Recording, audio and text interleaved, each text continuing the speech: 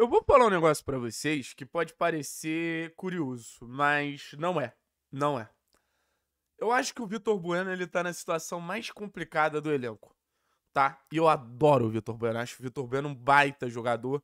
Desde o momento que ele chegou, ainda muito questionado depois da passagem dele pelo São Paulo, muita gente duvidando do real potencial do VB. Eu falei, cara, se o Vitor ele, ele chegar com querência, ele vai poder nos ajudar. E acho que não teve nenhum momento que a gente olhou pro Vitor Bueno e falou assim: esse cara não pode nos ajudar. Na temporada passada mesmo. Vitor Bueno já foi muito importante em vários momentos. A gente tem que lembrar que o Vitor Bueno, antes da final da Libertadores, ele dá uma arrancada que até barra o Terãs. E eu vou até fazer uma frase forte, cara. O Vitor Bueno, ele nunca esteve tão abaixo do Terãs, não, sabe? Óbvio que o Terãs já teve momentos incríveis, mas acho que o Vitor Bueno sempre conseguiu dar respostas muito boas. Eu lembro, por exemplo, que uma das grandes atuações individuais que a gente teve ano passado foi a atuação do Vitor Bueno contra o Palmeiras no Allianz Parque, no jogo que a gente ganha no Campeonato Brasileiro, realmente apresentando um nível muito alto. E em 2023 parece que o Vitor Bueno ele conseguiu fazer esse nível dele crescer. Em 2023 parece que ele fez esse nível aumentar. Parece que é a melhor versão que eu já vi do Vitor Bueno. Vitor Bueno que já teve o seu brilho muito considerável no Santos, né? Chegou a ser revelação do Campeonato Brasileiro, chegou a, a, a ir futebol europeu e tudo mais, mas acho que esse Vitor Bueno do Atlético é uma versão mais madura, é uma versão mais versátil do Vitor Bueno, é um Vitor Bueno que pode ser um cara mais construtor, é um Vitor Bueno que chega mais à frente para finalizar, um Vitor Bueno de boa bola parada, chuta muito bem de média a longa distância para mim é o Vitor Bueno que faz a temporada, por exemplo, melhor que o Rafael Veiga no Palmeiras. A gente viu um momento de instabilidade muito grande do Rafael Veiga e a gente viu o Vitor Bueno dando resposta o tempo inteiro. Dando resposta o tempo inteiro, dando resposta o tempo inteiro. Então, assim, eu sou. Eu sou fã do VB, mano. Acho o VB um muito bom jogador. Acho que faz uma temporada muito boa. Só que a gente tá chegando no momento onde o nosso setor de meio campo ele tá ficando assim, muito difícil de, de entender quem é titular e quem não é. E eu acho que, apesar de em algum momento a gente ter que definir titularidades, eu acho que vai acontecer um rodízio muito grande nesse setor. Eu acho que dificilmente a gente vai ter o mesmo os quatro jogadores jogando sempre. Sabe, em algum momento Eric, outro momento Fernandinho, outro momento Hugo, outro momento Alex, outro momento VB, outro momento Zapelli, outro momento Fidal, outro momento Canóbio. Eu acho que esse meio campo ele vai gerar muito. Mas acho que com as opções que a gente tem hoje, a gente volta a ver um Vitor Bueno indo pro banco de reservas. Aí você vai me falar, pô, Thiago, mas você nem viu o Zapelli já tá botando o Vitor no banco? Cara, eu não vi o Zapelli uma ova, né? Assim, desde que a gente é, saiu, que a gente tava negociando com o Zapelli, inclusive uma informação do camarada Matias Ruiz, lá da Argentina, o que eu mais fiz foi ver vídeo do Zapelli. E acho que a gente está falando de níveis de talento diferentes. O Zapelli é, é um nível de talento geracional. Da mesma maneira que a gente fala do Vitor Roque ser um nível de talento geracional, a gente fala a mesma coisa do Zapelli. E, cara, o Vitor Bueno é um ele é muito bom jogador, mas acho que ele não chega nesse nível de talento geracional. Então, assim, a gente tá falando de um jogador que é um dos melhores meias do país na temporada, um jogador que já super nos ajudou, tem as grandes atuações de meias do Atlético na temporada, por exemplo, o jogo contra o Botafogo na Copa do Brasil na conta dele. E assim, a gente tá voltando a ver um Vitor Bueno caminhar para um banco de reservas. E olha que situação difícil. Olha que situação complicada. Então o Vitor Bueno ele se posiciona como um cara fundamental, mas um cara que não tem tanto futebol para ser titular, devido também à qualidade e à capacidade que se tem nesse meio do Atlético. Ah, Thiago, não dá para jogar com o Zapelli e Bueno? Aí você vai ter um choque de característica. Dois jogadores muito próximos e dois jogadores que não têm tanta capacidade de pressão. Por isso que entender as características dos jogadores é fundamental. Entender as particularidades dos jogadores é fundamental. Porque na teoria é muito fácil escalar Zapelli e Bueno. Mas quando você tiver a sua primeira linha de pressão sendo rompida com facilidade, tu vai ver a dificuldade disso. E a gente podia falar uma série de obviedades que você precisa ter elenco, que você não joga só com 11 e tudo mais, e acho que são todos argumentos válidos. Mas eu fico pensando com a cabeça do Vitor. Eu não fico pensando com a cabeça do Atlético. Porque com a cabeça do Atlético é fácil. Eu dei um contrato para ele de três anos, ele é meu atleta por três anos, está na metade do contrato dele. Se eu definir que ele é titular, ele é titular. Se eu definir que ele é reserva, ele é reserva. Mas eu fico pensando como isso soa na cabeça do jogador. O jogador vive o seu melhor momento, o jogador não dá motivo nenhum de ir pro banco.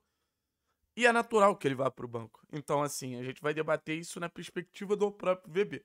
Mas antes eu preciso lembrar que esse canal é patrocinado pela KTO, a melhor casa de apostas do Brasil.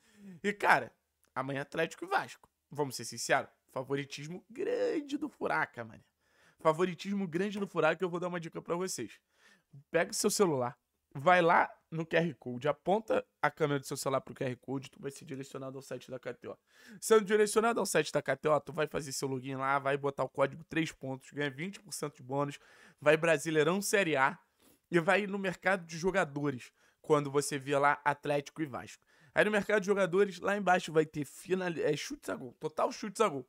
Você bota chute do Vitor Bueno que acho que vai rolar. Acho que vai rolar. Falar sobre essa questão do VB, né? Tomar um golinho d'água. Porque o VB, ele. Dá para dizer que ele se encontrou no Atlético, né? Eu acho que ele é mais um jogador que ele encontra o que todo jogador procura em um clube de futebol no Atlético Paranaense: estrutura, salário em dia, condições para trabalhar, é um, um, estádio absurdo, briga por títulos. Então eu não vou dizer que o Vitor Bueno ele tá insatisfeito. Eu imaginava que o Vitor Bueno estaria insatisfeito naquele momento que ele estava no São Paulo sendo cobrado, com o Independente botando o dedo na cara dele e tudo mais. Eu acho que esse é o grande ponto de insatisfação do VB.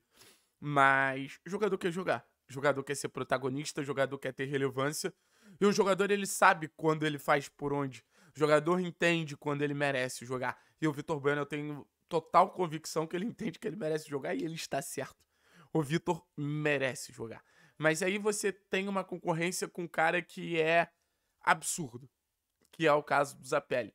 E acho que assim, o, o discurso ele pode parecer meio óbvio, mas eu acho que a gente vai entrar numa questão que é natural de, de bons e grandes elencos como um todo. Ah, que discurso é esse? Cara, que é o discurso que é o seguinte: eu acho que a gente é, vai passar por agora por um fato que é muito de encontro aos grandes elencos concorrência.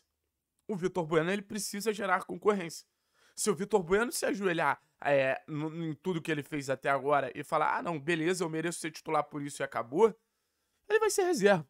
Então, o que, que o Vitor Bueno precisa fazer para incomodar essa, essa suposta titularidade do Zapelli, né? Porque a gente não pode cravar.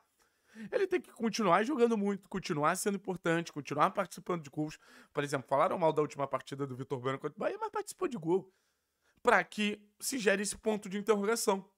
Porque se você tem um Zapelli muito confortável, o Zapelli muito confortável não é bom para ninguém. Não é bom pro Zapelli, não é bom pro Atlético, não é bom pro VB.